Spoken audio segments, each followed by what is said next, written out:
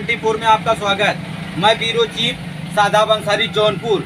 जौनपुर की बड़ी खबर, जौनपुर करियाओं की ग्राम प्रधान आशा किन्नर ने कुछ किन्नर का किया अपहरण करके उनके साथ की मारपीट और उनके प्राइवेट पार्ट में मिर्ची डाल डाला। वहीं जनपद के सभी किन्नरों ने देर रात बरसडी थाना का किया घेराव।